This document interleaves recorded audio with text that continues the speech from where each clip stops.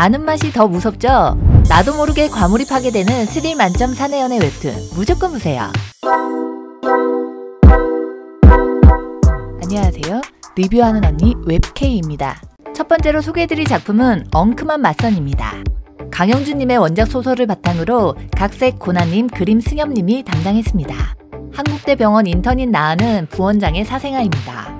차기 병원장을 노리는 아버지의 욕심으로 어쩔 수 없이 SJ그룹의 막내 아들과 맞선을 보게 되죠.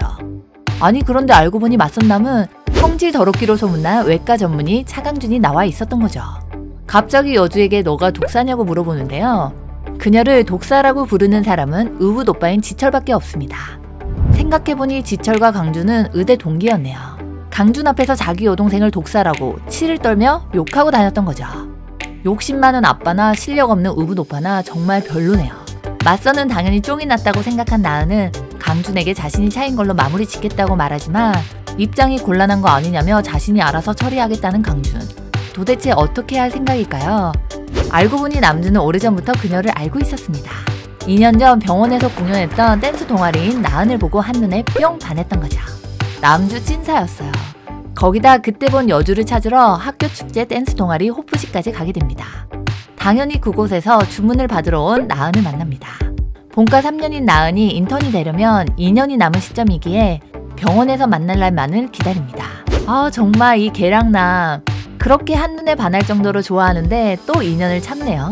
강주는 나은을 찜해두고 계속 그녀를 기다렸지만 나은은 기억하지 못합니다. 거기다 강주는 맞선 상대 리스트에 나은이 있는 걸 보고 그 자리에 나오게 된 거죠. 나은을 자신의 여자로 만들기 위해 하나씩 빌드업한 직진 개량남인 강준과 사생하라 집에서 구박받았지만 밝고 씩씩하게 자란 나은. 두 사람의 맞선 결과는 어떻게 될까요? 두 번째로 소개해드릴 작품은 불건전한 연애입니다.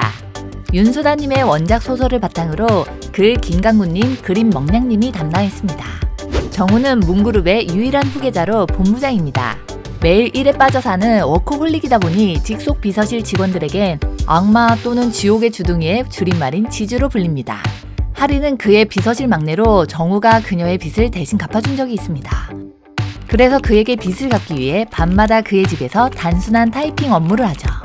그러다 비서실 내부에 두 사람이 불건전한 관계라는 좋지 않은 소문이 돌게 됩니다. 본부장인 정우가 비서실 막내인 할인을 자주 찾기도 하고 같이 차를 타고 가는 걸 봤다는 등 뒤에서 여러 말들이 오가죠. 정말 회사 생활 힘드네요. 그래서 할인은 퇴사를 결심하고 사직서를 냅니다. 사직서를 낸 이유를 들은 정우는 그냥 실제로 불건전한 관계가 되자고 합니다. 완전 직진남이죠?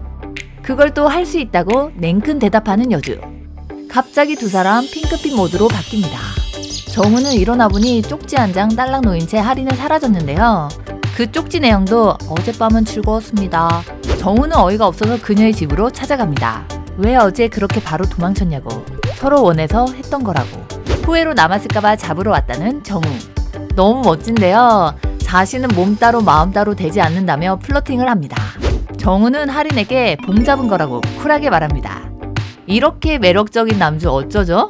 오피스 로맨스에 스릴러 한 스푼 있습니다. 이렇게 시작된 불건전한 관계는 앞으로 어떻게 될까요? 오늘 소개해드린 작품들 재밌게 보셨나요? 관련 좌표 바로 아래 써두었습니다. 바로 보러 가세요. 구독과 좋아요, 댓글을 남겨주시면 웹K에겐 큰 힘이 됩니다. 시청해주셔서 감사합니다.